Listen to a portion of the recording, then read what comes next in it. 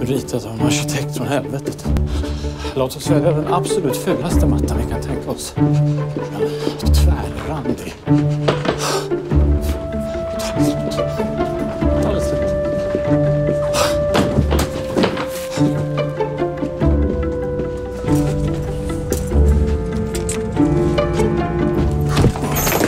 Oj.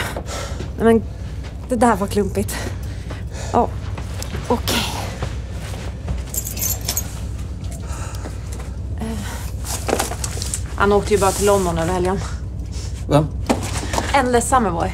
Det var ju falskt alarm bara. Endless... eh, Summerboy. Chris O'Neills hemliga Instagramkonto.